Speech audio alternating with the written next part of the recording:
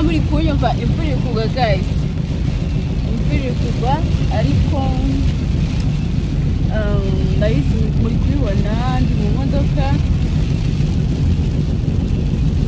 Finally ndasohotse.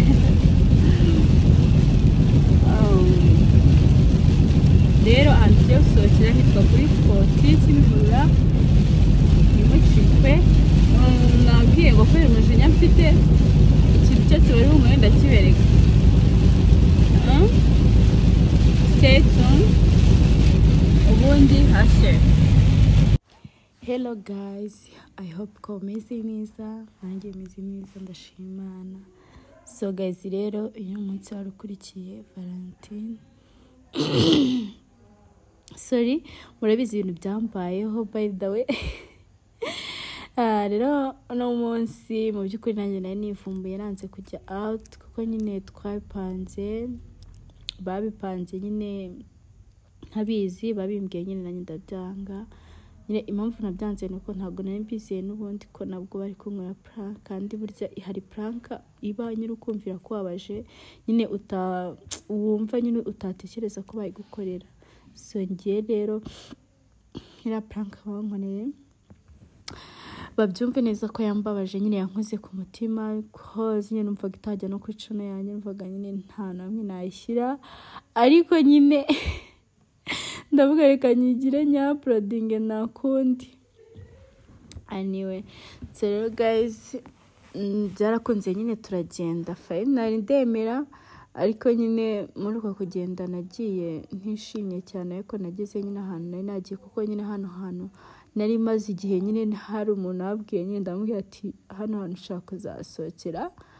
Um, mu rwego rwo kugira ngo banshimishe bitewe n'ukuntu bari bambabaje arangije nyine arambwira ati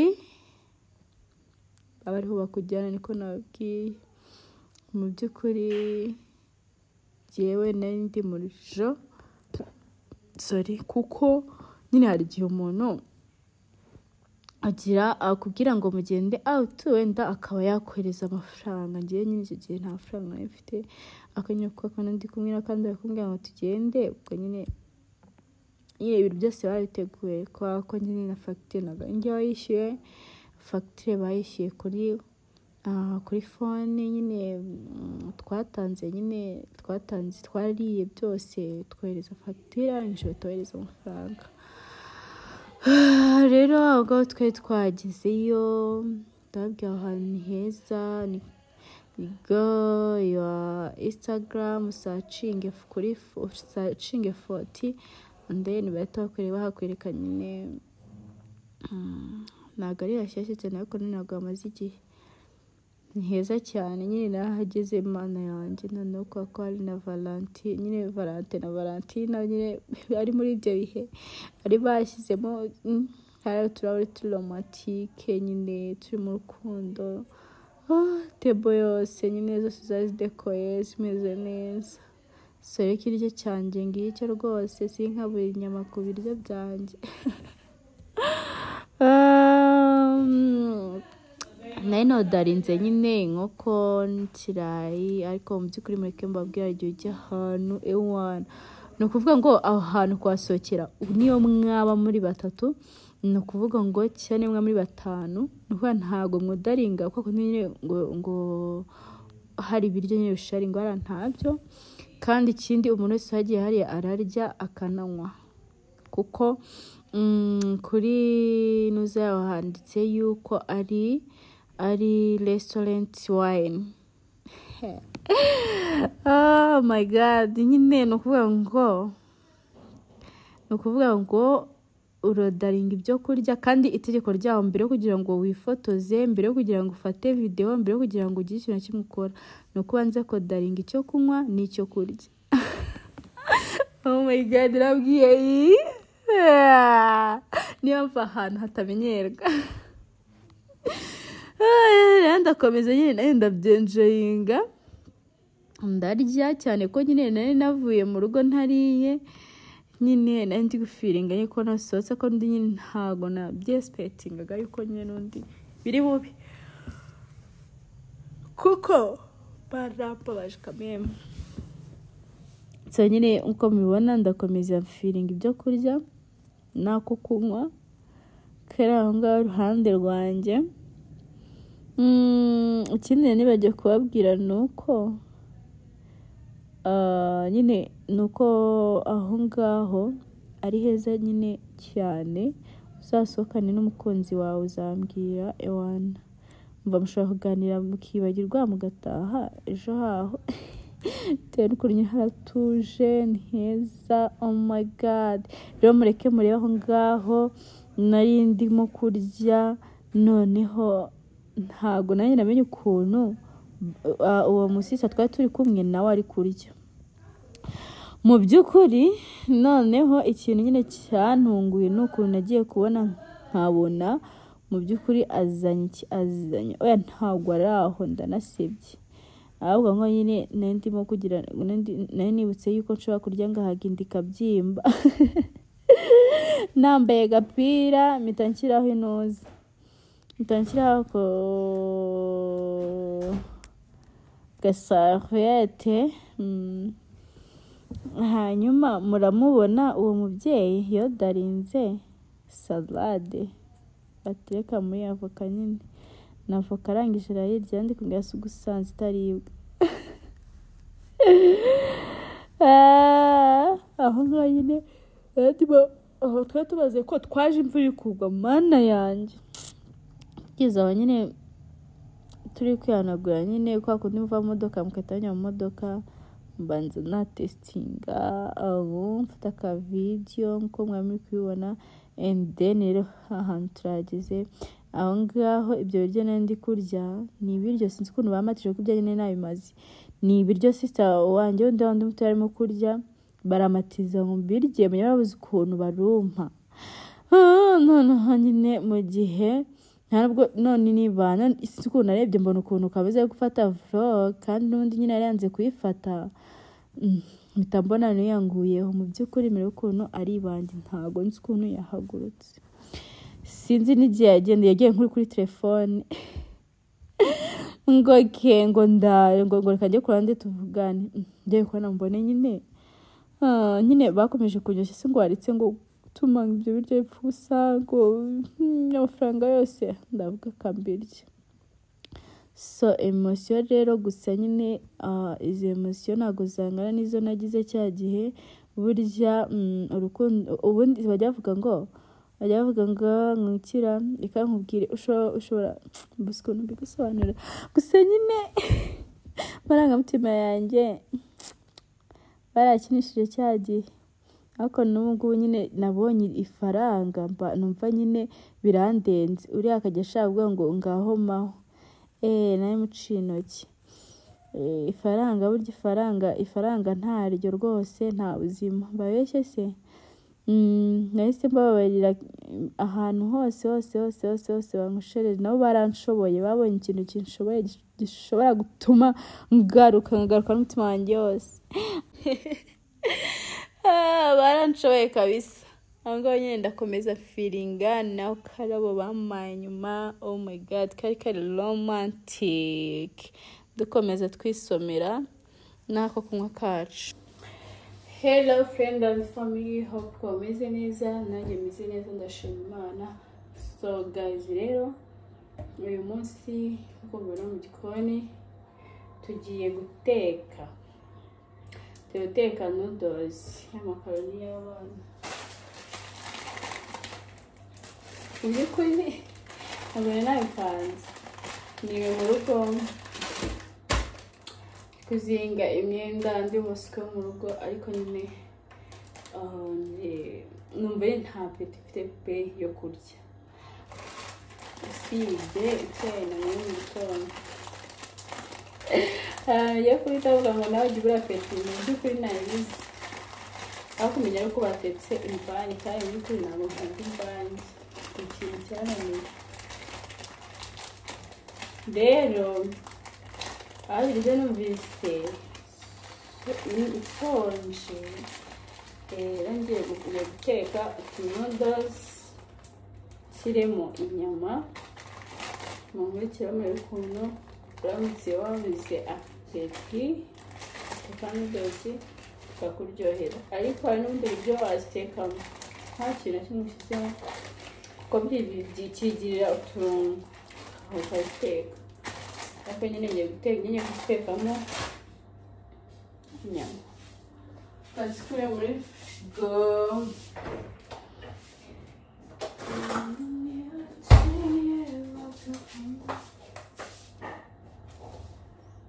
zirimo balanse ngomba kuzikuramo zikabanza zazamo balanse kugira ngo zive burakerende ukuntu ubigenza nereka mu kabase kuzuye amazi gutya nujya ushaka guteka ikintu vuba kugira ngo kivemo barafu vuba ujye utereke mu mazi? Kanya ziba zirekuranye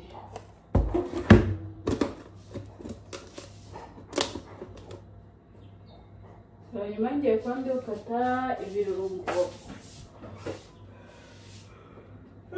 Sereri sereri sereri ntabwo ko zipfa vuba. N'izi sereri nta cyumweru mu by'ukuri ziramara. Ariko tangiye kwangirika.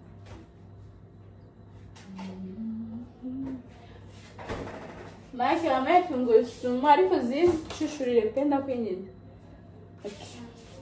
Basi, eh.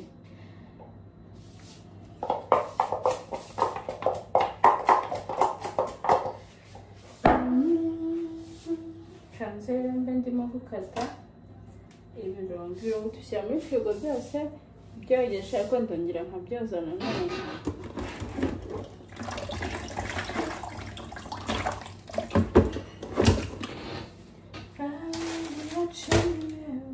tomate cya cyuma gityaye na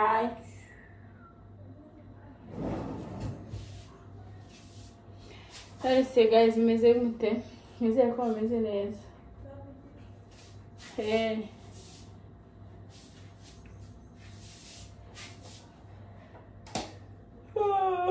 ndashonje isi birashya cyane ihindure bitogose ko ntabwo ajya aryoha kuyatogosa nabwo ajya aryoha amakaroni iyo yafashe nzabereka ubundi buryo nyine wayatekamo. Sibyo wadutekamo. Ariko reka nduteke nk'uko mbyifuza. Dayidayi ndashonje. Ndashonje. Singira batabihiye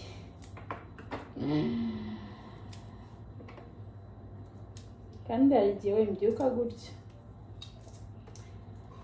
Rero nabyutse nkerewe cyane ko nabyutse nabyutse. Ngiye gukoresha ibitunguru bibiri ngiye nkunda ibitunguru mu biryo. Cyane noneho mu mvange y'umweru. Muzi imvange y'umweru ukuntu iryoha. Sinkunda imvange itose cyakoze y'umweru ndayikunda. Y'umweru y'umweru. Nyine ibirayi n'ibishyimbo cyangwa n'amashaza by'umweru washyizemo igitunguru n'amavuta. Uzi ukuntu biryoha ibyo byo ndabikunda ndabirahiye byumutse harya nandi kubabwira nabyutse saa sita. Mpita nkora amasuku nyine imyenda ndangije nyine nita ku mwana ariko iyo mbona atinze kubyuka ni umwana. Iyo yatinze nanjye ndatinda iyo nta kindi nta zindi gahunda mfite. Itunguru cya kabiri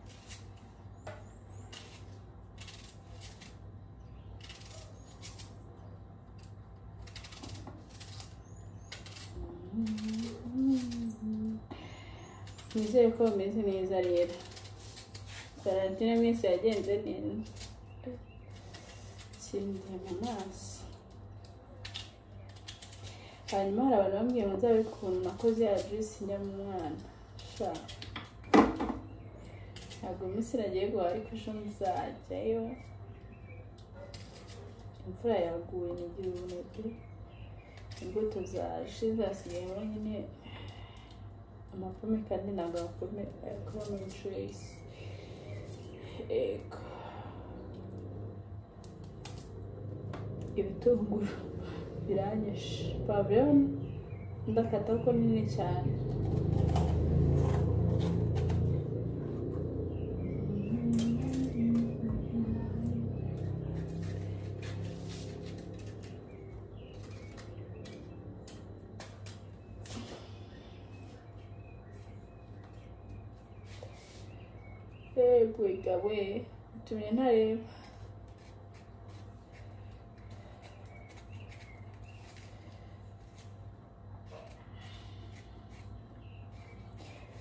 Nshaka nateka nshyizeho n'amavuta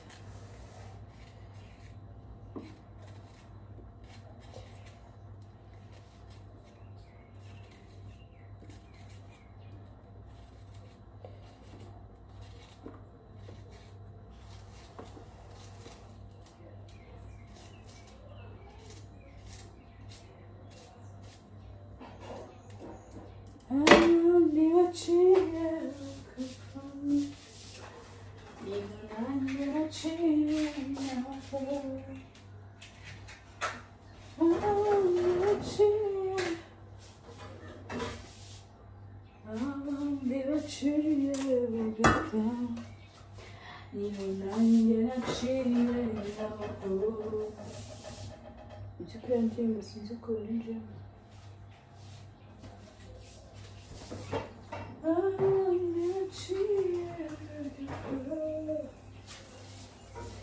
yaba zacu ndabona bizo ukoresha ndakeka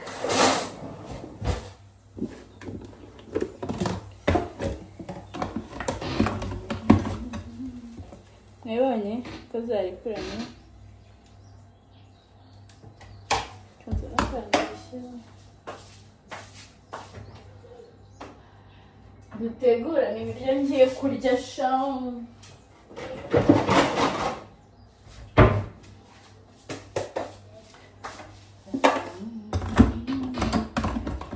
Abantu tutari muzi ko amazi akonje akuramo barafu vuba ibyo kurya. Mubimenye rwose hajya ukuramo ibiryo hakiri kare ngo ni uko ngo birimo barafu ngo biratinda ntabwo ari iyo mpamvu.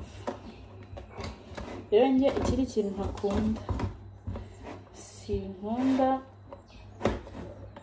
inyama zitari iz'inka kuzivanga mu ntuza ngo nkore ngo ngo nkoreshe iz'inkoko. Mu makaroni. Ahubwo njye izi nkoko nzikunda zumutse kenshi. Kenshi zikunda zumutse izi nyama rero haracyaba akanya gatoya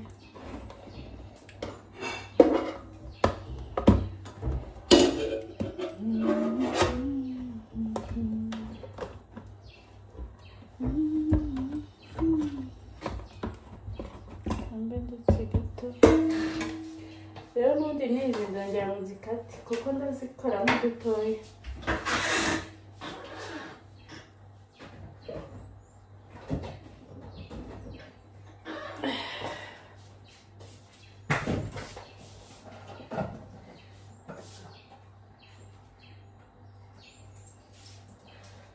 rero ntabwo nkunda guteka amavuta menshi menshi menshi menshi hagire gutya kugira ngo mbiyerekere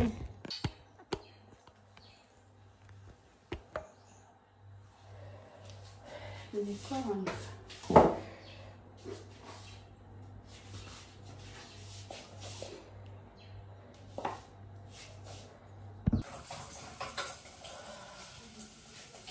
inyama zacu zimaze zimaze kujya ku- kumuka nyine zimaze gufata irangi nshyizemo tungurusumu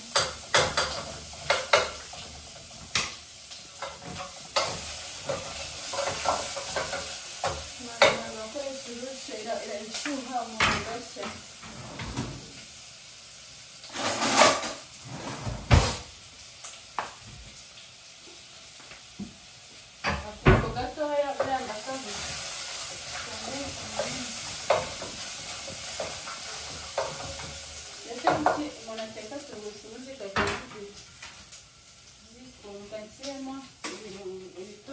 pavuro na sereri sinareka ibitunguru neza ko biba bingana ari byiza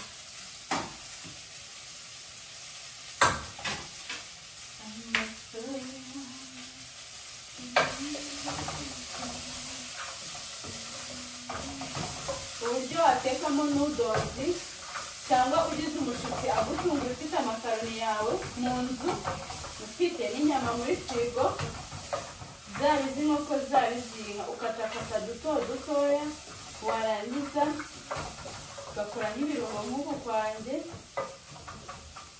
Umushyitsi yagutunguye ntabwo wabikirunga rwose mu buryo wanze kujya nko kugira guhata ibirayi by'imiceri mu by'imboga ewani nodozi nyine zirimo inyama z'imisozi kandi biba biri perezidantabe ku meza yo bisa neza. Urwara rwanjye ndumva rugiye kumuraze kwepe. Kagiyeho akantu dukomere ndaje.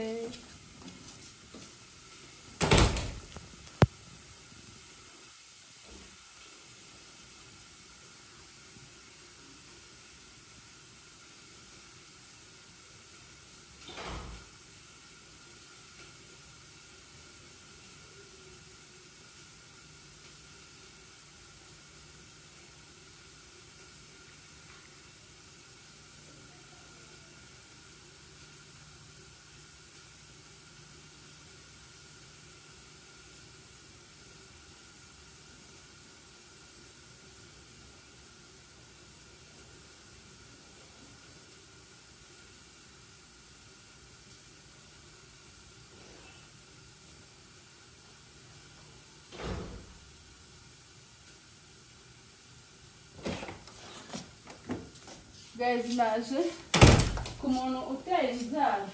Aricana ikintu bita kore dore nk'ubu bise bikomera ni ibyo nyine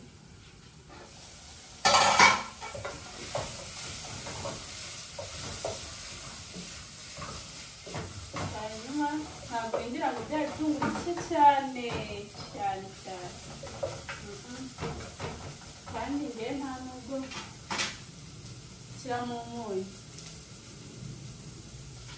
ngiye ko ngiye guhasiramo za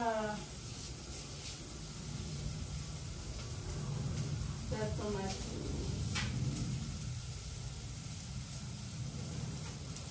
guys nabyutse nanebwe numve ngo muri uko kunibwa cyakoze nabyutse ndankora amasuku nzinga imyenda ntera ipasi ya bebe nari ndamuzingira mu cyumba cyanjye nuko gusa narebye nuko ntari sinzi impamvu ntari nagenzi ko numva nyine ariko nuko batetse n'imvange by the nyine imvange irimo ibishyimbo irimo inyanya irimo utunamba n'utundi ndetse n'ibishyimbo bitarimo ikintu na kimwe nta birungo byariyemo ariko ubushize natumye umuntu kumahira angurira inyanya zikagira isosi. Hakurya sinshobora nubwo uyu munsi nanibwe nanze no kujya guhaha ariko ejo nzigirayo rero.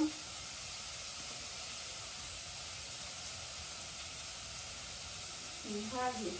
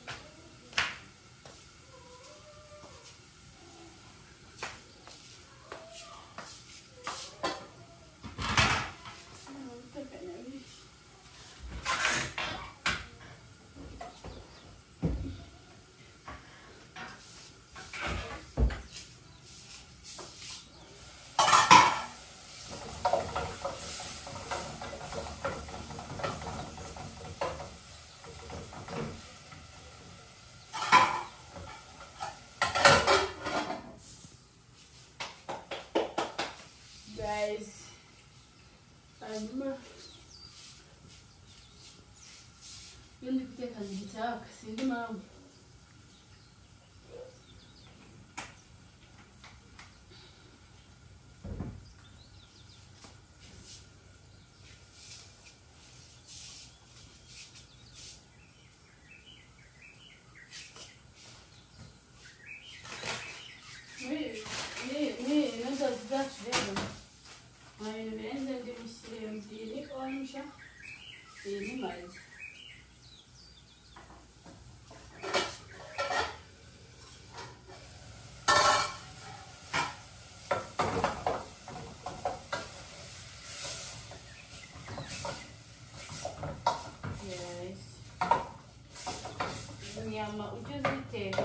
de Timonezil.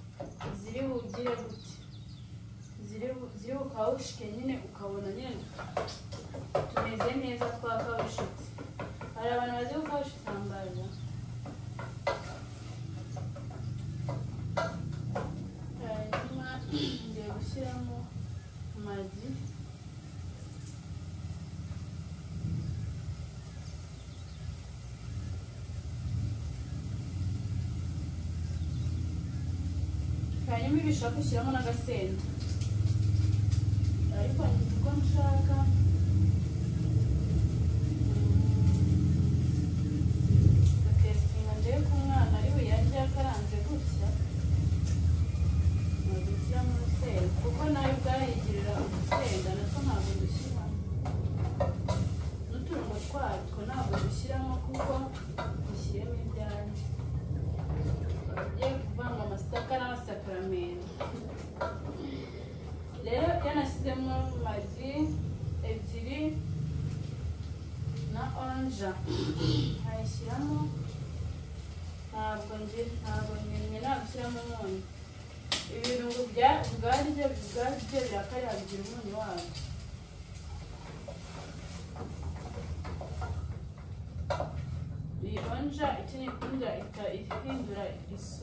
ukabitukuza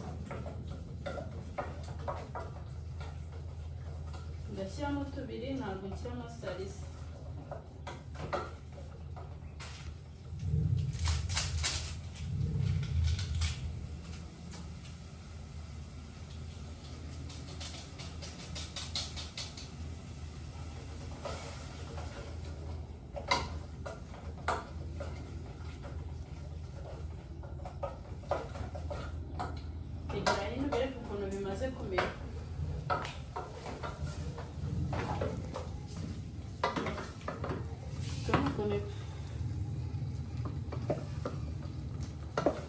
dusa neza. Mana yanjye umwana wanjye abaye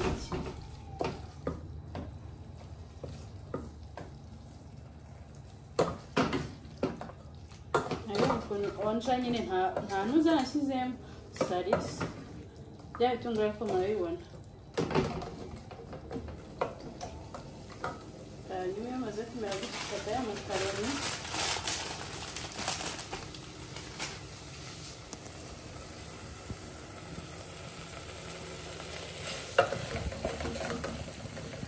Aa, sarıysa ne sizin?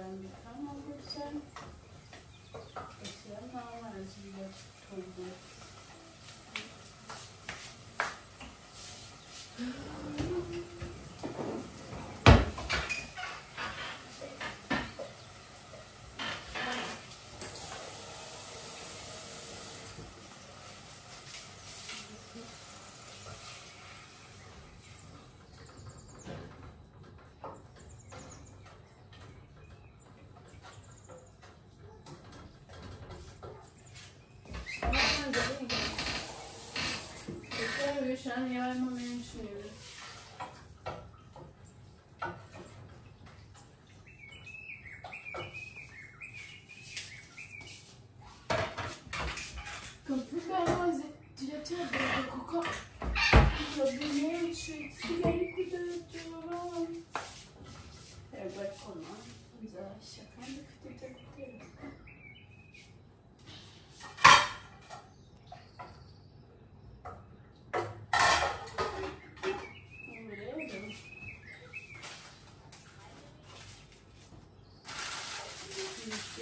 Kugira ngo ikurikiraho ni ugukuraho imyanda bikoresheje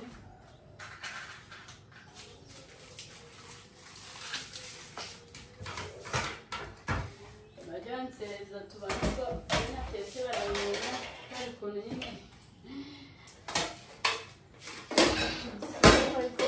kaniho abantu ntibaze kumenya ko ari njye watetse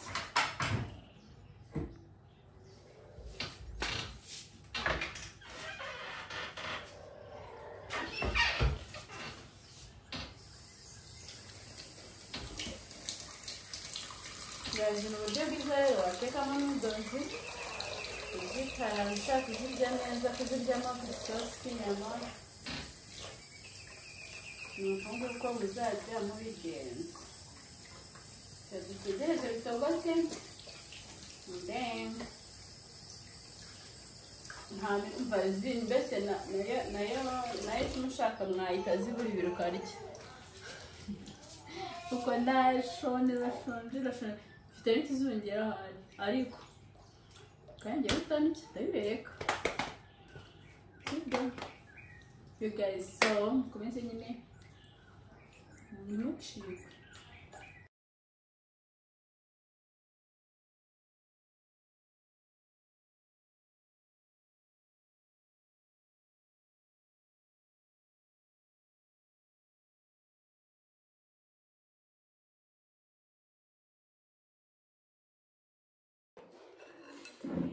iriya makaroni yacu yahiye ariko mu by'ukuri aryoshye kubi.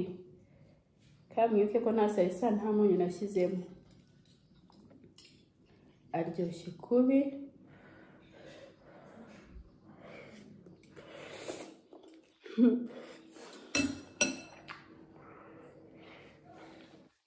Hmm.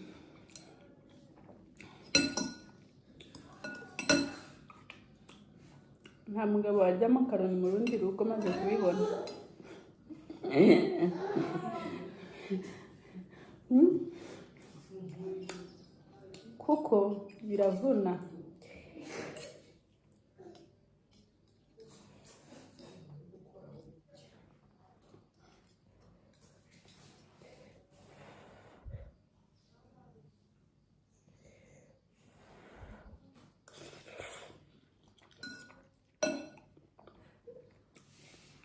ukuntu biryoshye nashyizemo n'agasenda n'umwunganira yakunze. Ariko n'uburyo kimeze biratangaje. Ukuntu niteze bigaragara ko abakecuru. Gazi uzabikore. Aba arimo isosi.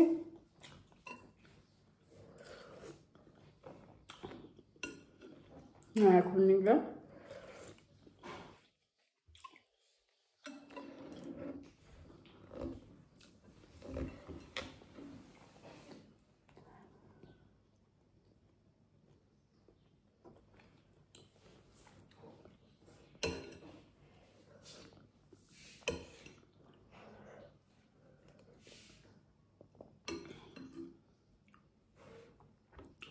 gerageza gerageza uyateke. Cyangwa gerageza uyatekere. Ntugabanye niba akunda nyine niba ukunda amakaroni cyangwa akunda nyine ibiryo nk'ibi. Try uzambwira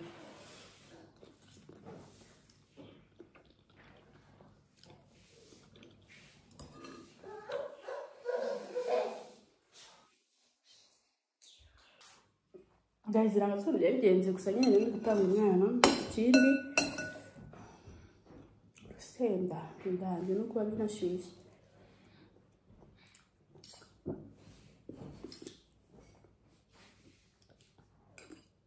Mhm.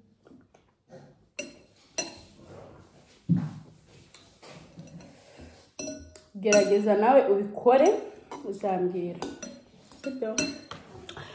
Kandi mukomeze mukore subscribe comment ntimucikwe. Ikindi kintu ushaka tuzabakorera muzanyandikire muri comment. Ikindi muzambaza ibibazo byose mushaka kumbaza nzabisubiza kuri youtube. You guys ndabakunda cyane. Bye.